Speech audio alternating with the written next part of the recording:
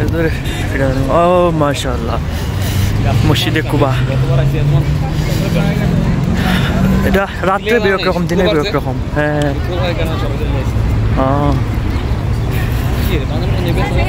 আসসালামু আলাইকুম রহমতুল্লাহি আমরা এখন কুবা মসজিদে আছি আমরা বিশ মিনিট সময় দিচ্ছে বাস কাউন্টারে আমরা মাত্র বিশ মিনিটের সময় নামাজ করার পর আবার দিনে আবার আসব। ওই সময় আপনারা ভিডিও করে দেখাবো আর কি।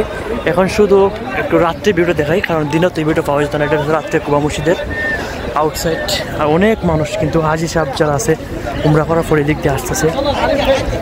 অনেক। যাক, মসজিদের ভিতরে যাওয়ার পরে আপনারা একটু দেখাই মসজিদের ভিতরটা কেমন। মসজিদুল কুবা এটা হচ্ছে রাত্রের যে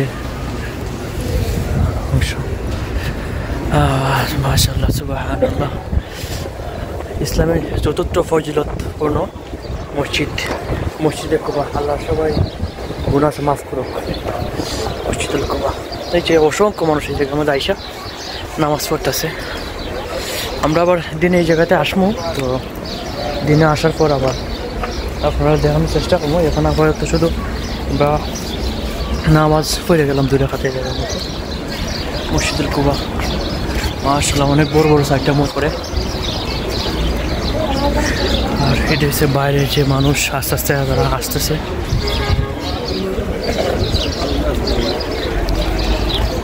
আল্লাহ তালা সবার তো কবুল করুক মসজিদুল কুবা তারা নামাজ পড়ছে।